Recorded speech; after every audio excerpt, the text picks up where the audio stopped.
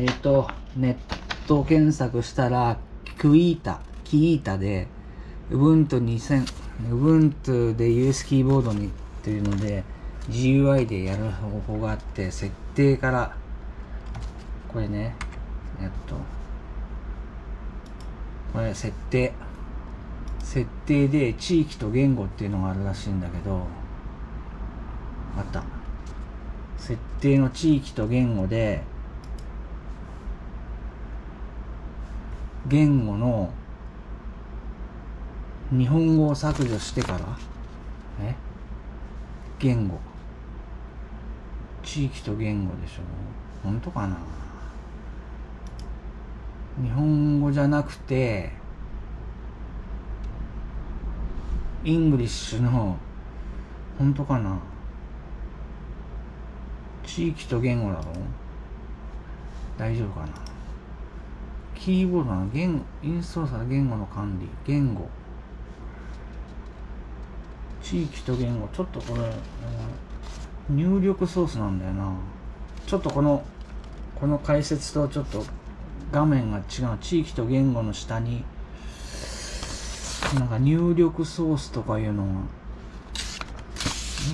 地域と言語で言語の管理違うな。言語サポート完全にはインストールされていません。違うな。あーやっぱり難しいな。キーボード入力に使うシステム。これか。キーボード入力に使う IM システム。あ違うな。えー、言語は日本語でいいんだけどキーボードだけ英語にしたいんだよね。フォーマット。あーちょっと違うな。これ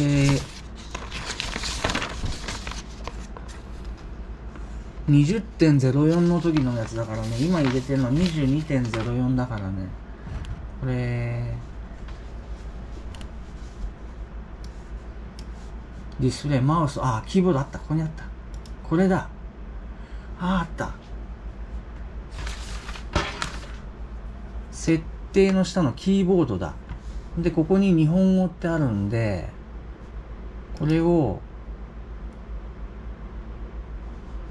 削除してプラスで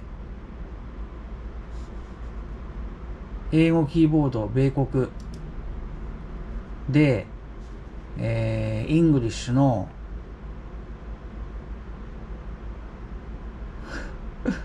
たくさんありすぎてね。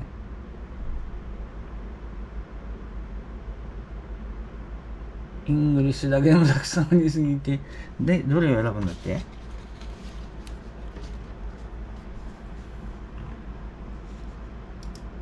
あ英語 US か。これでいいんだ。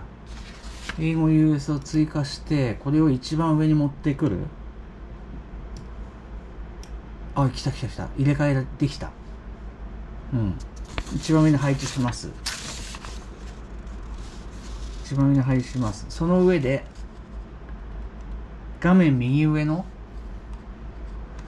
画面右上のインジケーターの「あ」や「A」をクリックして英語 USB